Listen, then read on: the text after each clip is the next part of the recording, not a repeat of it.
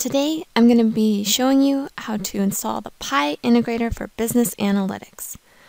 One thing I want to point out right away is that there are different editions for the Pi Integrator for Business Analytics. Each edition actually has its own unique install kit, but the procedure for the installation is going to be the same, so you're going to be able to follow these same steps. And this is the machine that I'm going to be installing the Pi Integrator for Business Analytics on. Now, the first thing that I want to do is to make sure that I meet the system minimum requirements. So I'm actually going to open the PI Live library and look at the Pi Integrator for Business Analytics 2015 guide. Okay, so the system minimum requirements are here. First thing is I have confirmed I am running a late enough version of the Pi server, including both the asset framework and the data archive components. And like I said, I have the machine that the Pi Integrator for Business Analytics is going to be installed on, and I have made sure that this machine is appropriately sized. I'm also going to need a Microsoft SQL server, either local or on the network. In my case, the SQL server is actually installed locally, the one that I'm going to be using, but it's fine if you have one that's on the network. And you might be wondering, why is SQL Server involved with the Pi integrator for business analytics installation? Well, essentially, the SQL Server is used to cache some of the data for quick access by the BI tools. One more important note is on the SQL Server, SQL Express is not officially supported, due to the 10 gigabyte size limitation, that's quickly going to become a constraint if you're working with the integrator in a production environment. However, you can use SQL Express for testing in a limited context. One very important final note is that the Pi integrator for business analytics must be installed in a domain. It can't be installed in a workgroup environment. But I'm doing this installation in a domain, so I'm good to go there. The next thing I want to do is check out the permissions to make sure the install is going to be successful. So on this machine, I'm logged in as my user, and you can see that that's C. Metzinger.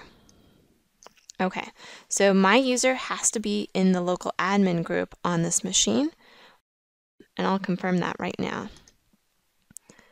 So in the administrators group, you can see that there's my user, C. Metzinger, right here. Now, for the Pi Integrator for Business Analytics, there's a Windows service, and I need a service account for that Windows service. So I have received a service account from my IT mm-hmm. group, and I'm also now going to need to check out the permissions for that service account for the Pi Integrator for Business Analytics. This is the service account that I am going to be using, and you can see that I have also already added this to the administrators group on the machine, which is a requirement.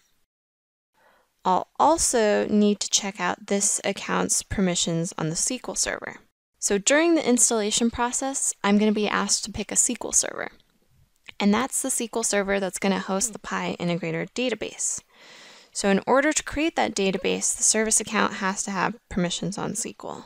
So I have SQL Server Management Studio open, Here's the SQL server that I'm going to be using, and you can see that I have a login for that service account. And I'll mm-hmm. confirm that I have the required sysadmin privileges set up for it. Okay, you can see that I have the sysadmin privileges set up there. So in addition to being in the local administrators group and having sysadmin privileges on SQL, this service account is also going to need permissions on the PI AF configuration database. So during the installation, you're going to select an AF server. And that's the AF server where the configuration information for the Pi Integrator for Business Analytics is going to get stored in the AF server's configuration database. So we'll need to make sure we have the permissions there. So I'm going to open up Pi System Explorer and because I'm using the latest version of the AF server, I'm on the new AF security model, so I'm going to show it both ways. Here, I'm going to server properties, and I've already set up a mapping for the service account. This is a large server used for a lot of things, so I'll just highlight it to make it really clear. Here's the service account, and here's the identity. So what I need to do is make sure that this identity has admin access on the configuration database. So I'll check the configuration database's security. And you can see here's that identity and that it does have admin level privileges on the configuration database. Similarly, if you are using a older version of the AF server and you have the older AF security model, you'll see something like this. So I have the configuration database, and then you'll be looking for adding the privileges. In this case, here's a different service account that's being used for an integrator on another environment, and you can see that this service account has the admin privileges as well on the configuration database. So I'm going to switch back to my setup over here. And the one other thing I want to note is while we're in the AF configuration database, there's a UI that's part of the Pi integrator for business analytics. And when it first gets set up, the users that have admin access on the AF configuration database are the users that get granted admin access in the Pi Integrator for Business Analytics UI. So that's just something to be aware of. So for example, you can see that I actually have my specific user account does have admin level access, so we'll see that's going to get added. And there's a few other accounts or identities that have this. So again, this is just going to be the baseline admin level on the UI, and I'll show you what that looks like after we get the installation completed. The only other step you may want to take with the service account that's going to be used for the Pi integrator is to set up Kerberos constrained delegation. And there's actually a section in the live library specific to this. So if you navigate to administration tasks, you can see there's a section on Kerberos constrained delegation. This is an optional step. What it allows is that if Kerberos constrained delegation is set up, the user of the Pi Integrator UI will only be able to publish the data that they would be able to specifically work with in the Pi Asset Framework and the data archive. So it follows that security.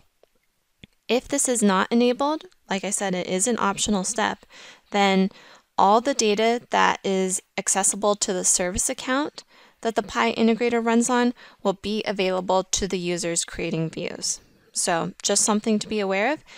I have actually already worked with my IT team to set up Kerberos constrained delegation, so I'm not going to be showing those steps in this video, but if you want more details, you can consult this user guide and see the steps. So I'm ready to begin the installation, and what I'll need to do is I'll need the install kit from the tech support website. So our tech support website is techsupport.osisoft.com. And once you're logged in, you can search for the Pi Integrator for Business Analytics as your product. And as you can see down here, I actually have a lot of different install kits for the Pi Integrator for Business Analytics. So basically, again, there's multiple editions of this product. And as an employee, I'm actually licensed for all the editions, so I see more than one here. But in your case, you're probably licensed for a specific edition, so you're probably only going to see one here. For this video, I'm going to be using the Pi Integrator for Business Analytics Data Warehouse Edition, the 100,000 data output stream limit. And I've already downloaded this install kit and I have it available on my machine. So let's close some of these things out and get started with the installation.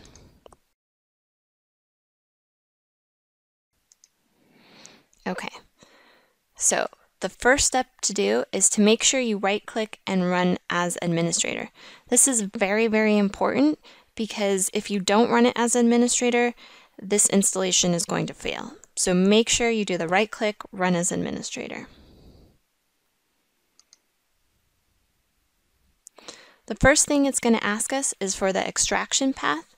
I like to extract the files to a specific folder on the machine, and that's what I'm going to do here.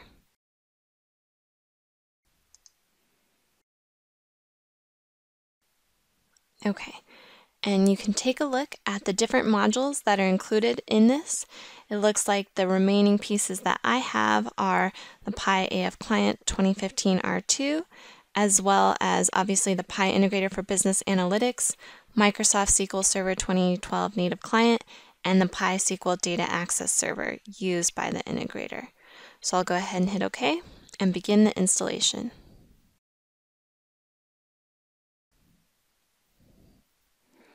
Hit Next.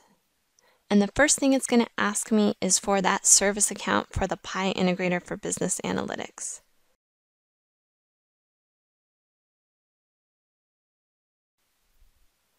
And then it'll ask me for the AF server. Remember, this is the AF server that we confirmed that we have the right permissions on the configuration database. Then it's going to ask for the SQL server. And again, this is the SQL server that we looked at earlier and made sure that we have the permissions for the service account. And I'm going to use Windows Authentication to connect because I've set up those permissions as we saw earlier. The next thing I'll need to do is select the port for the Pi Integrator for Business Analytics, that web UI. I'm going to leave it as the default port number and confirm that that's available, but definitely feel free to change this to a port number that works for you. And then I'll install.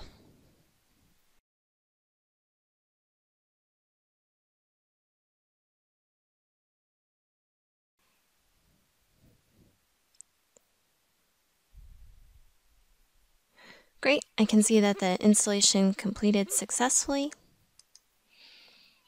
And then what I want to do now is I want to take a look at the services and confirm that it's running.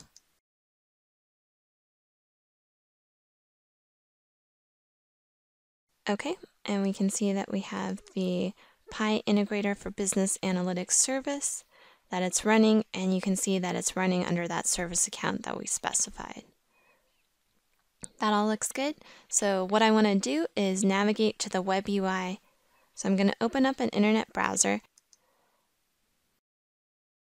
And the URL for the web UI is going to be http colon forward slash forward slash the FQDN if you're working on a machine that the integrator was not installed on. In my case, I can do localhost. And then you want to do the port number that we specified in the installation. So in my case, port 80. Okay, and this loads the UI. Now, what is this UI used for? This UI is used to set up and manage views. And views, those are just the row and column representation of your data that your BI tools can then consume. So how is access to this UI governed? we talked about it inheriting the security from the AF configuration for setting up the administrators. And we'll see exactly what that looks like now. So just want to point out that right now I'm logged in as my user, and that user had admin level access to the AF configuration database, which is why I'm then able to access the UI right away. I'm going to scroll down to administration here. And then I'm going to switch over to the users tab. And here you can see that there's users and groups that were predefined from the AF Server Security Configuration Database. So my account here was added and I'm an administrator. You can also see that we have the service account for the integrator, which was also an administrator. Now, as an administrator, I can then add new users or groups, and I'm going to show you how to do that. So I'll hit add and I'm actually going to add a group. Okay, so I can then add this group and I can assign this group to also have administrator access on the UI. You'll also notice that in addition to specifying whether or not they're administrator, there's also these other fields down here. What are these about? Well, the first one is basically, okay, who can access the UI? They have to be a user and who can manage these type of things on the UI administrator. But it also is setting up permissions for what published targets they can use and what views that they can see. Now, what is a published target? Let me switch over to targets here. And so you can see that the default published target is a Pi view. Any edition of the Pi Integrator for Business Analytics has this as an available published target. Now, some other editions of the integrator, the Data Warehouse edition, supports additional targets. So by default, use the Pi view, but um, in this case, remember I installed the Data Warehouse Edition, so you can see I can add additional published targets.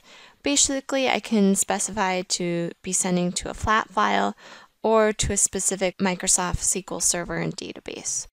So again, these are targets that you will see depending on your edition, but by default, you'll have the PI view and everybody has that one. So regardless of whatever target type we're using, what's the data that we can bring in to a view that we're creating? Well, we can take a look back at AF databases. So here we can add the AF servers that we want to bring the data from. In this case, I have a large system, so I have multiple databases. But this is where this part gets set up. If you need to add additional AF servers, you can specify and then add. And the last thing that I want to draw your attention to on the admin section is licensing.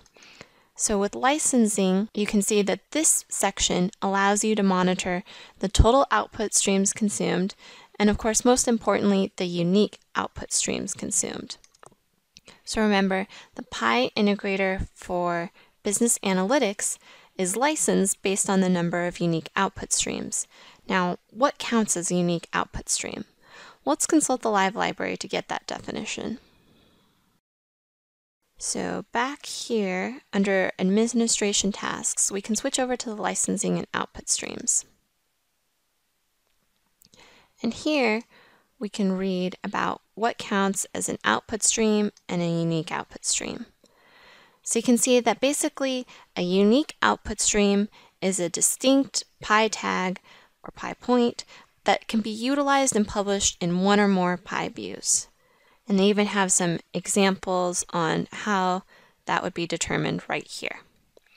At this point, I'm ready to go ahead and do the next step. I'm going to create a new asset view, and that's what's shown in the next video.